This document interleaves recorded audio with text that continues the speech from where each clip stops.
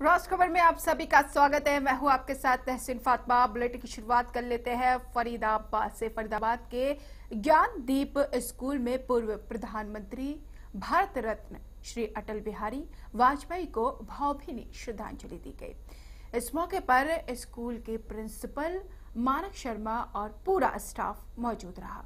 इस अवसर पर वरिष्ठ पत्रकार और विचारक बीडी कौशिक ने कहा कि अटल जी न केवल भारत अपितु विश्व के नेता थे, बल्कि उन्हें हर वर्ग, हर दल का स्नेह प्राप्त था। अटल जी के जाने से एक कवि राजनेता की जो कमी हुई है, वो हमेशा खलेगी। तो पूर्व प्रधानमंत्री अटल बिहारी वाजपेयी भले ही अब हमारे बीच ना हो, पर आज हर देशवासियों के दिल में है। जिनको कभी भूला नहीं जा सकता अटल जी का 16 अगस्त को दुनिया को छोड़ गए पर वो अमर हैं और अमर रहेंगे, जिन्होंने भारत देश के लिए बहुत कुछ किया। कारगिल की लड़ाई से लेकर उनका लंबा सफ़र रहा। अटल जी हर किसी के दिल में है। आज देश ने भारत रत्न को खोया। सिटी इंटरनेशनल स्कूल के बच्चों ने कैंडल जलाकर फूल मालाएँ डालकर अटल जी को श्रद्धांजलि अर्पित की। सात दिन का शोक प्रकट किया गया है अटल बिहारी हमारे बीच नहीं रहे। देखिए, सरकार ने सात दिन का शोक प्रकट करने के लिए कहा है। लेकिन जिस शख्सियत की हम बात कर रहे हैं, अटल बिहारी वाजपेयी, वो सात दिन में भुलाए नहीं जा सकते। उनकी प्रेरणाएँ, उनका आदर, मान, सम्मान, उनकी शिक्षाएँ तो हमेशा बच्चों को याद रहेगी, हमें याद रहेगी कि अटल बिहारी जी हमारे देश के बहुत हमारे देश के पुराने प्रधानमंत्री थे पर उनकी आज 16 अगस्त को उनकी मृत्यु हो गई है। इस बात का हमें बहुत दुख है।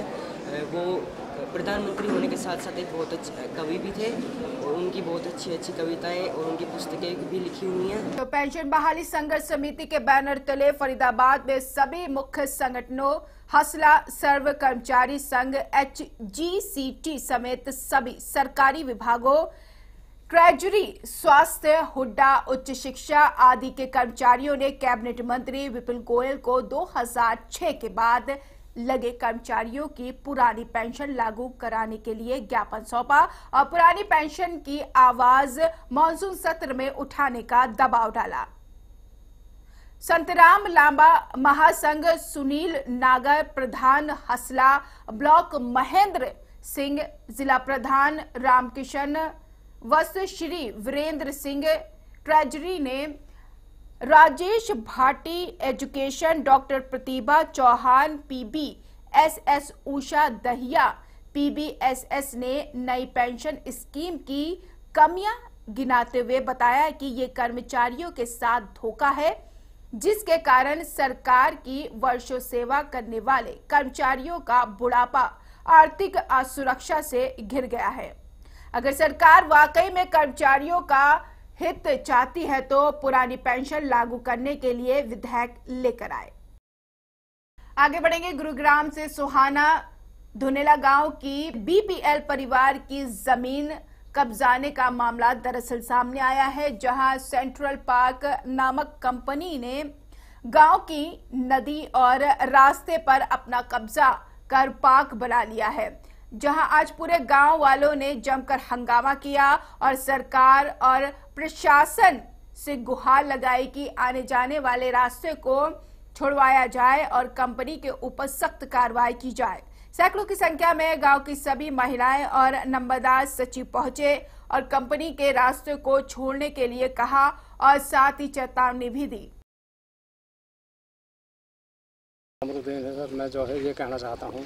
अब ये बीपीएल कॉलोनी काफ़ी दिन से बसी हुई है और इसमें जो है ये जो बिल्डर हैं, ये गरीब आदमियों को बहुत ज़्यादा परेशान कर रहे हैं, बहुत ज़्यादा सता रहे हैं, दबाव डाल रहे हैं इनके ऊपर। और सरकार की दी हुई जायजात है हमारे पास, हमारी अपनी मलकियत है, जिससे हम रास्ता मांग रहे हैं। हम सिर्फ़ अपनी धार को मांग रहे हैं, हमें किसी कंपनी से कोई दबाव नहीं, किसी कंपनी पर हम दबाव नहीं डालें, किसी से ये है कि ये एक बीपीएल कॉलोनी करीब पंद्रह साल पहले यहाँ कटी और इसमें करीब करीब अट्ठासी प्लॉट है। ये पहले हमारे यहाँ गाँव में रेवेन्यू रास्ते नहीं थे तो अधिकारियों ने एक बीपीएल कॉलोनी काटते टाइम एक आश्वासन मौखिक तौर पे दिया कि नदी की धार को आप यूज़ करो। नदी की धार कहीं पचास फुट है, कहीं चालीस फुट है, कहीं साठ फुट है। तो उसमें ये लोग तैयार हो गए और यहाँ प्लॉट कट गए और इन लोगों ने अपनी जमा पूंजी सारी यहाँ मकानों में लगा दी। उसके बाद सोना का मास्टर प्लान आ गया 2006 सात में करीब करीब पाँच में में 2012 में। 2012 में मास्टर प्लान आ गया।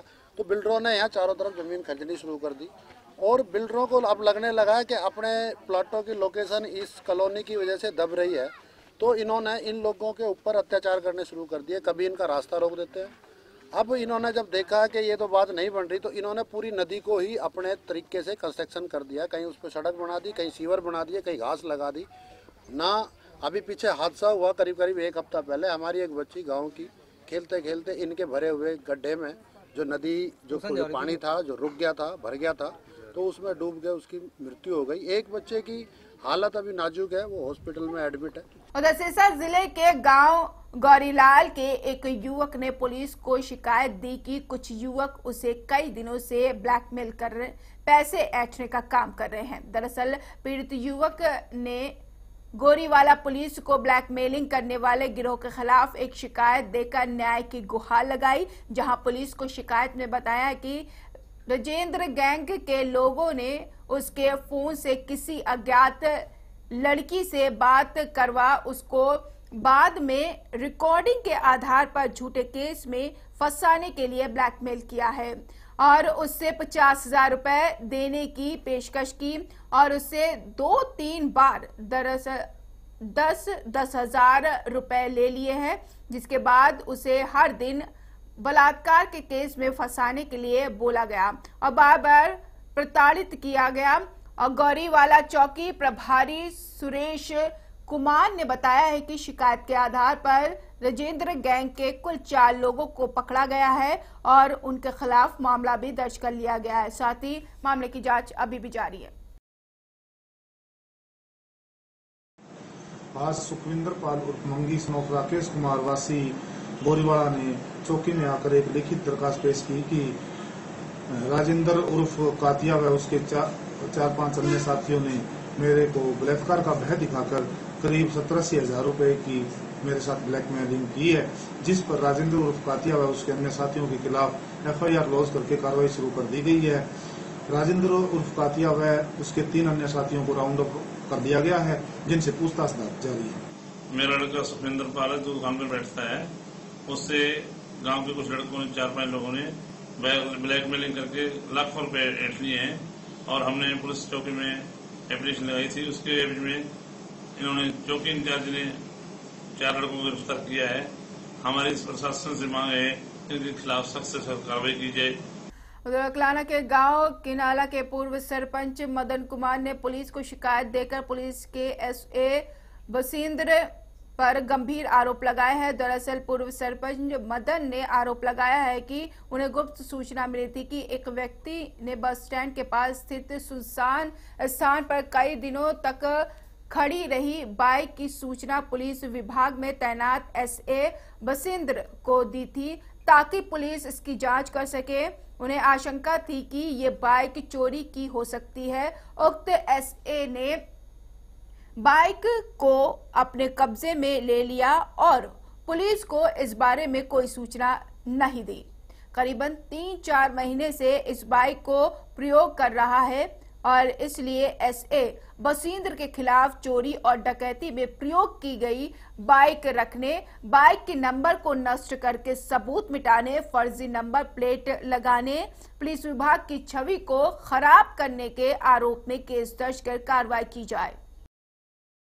हाँ सर, ये अभी अभी मेरे को डीएसपी साहब की तरफ़ से एक एप्लीकेशन प्राप्त हुई है, जो कि हमारे थाने में ही तैनात है, हमारे एस है।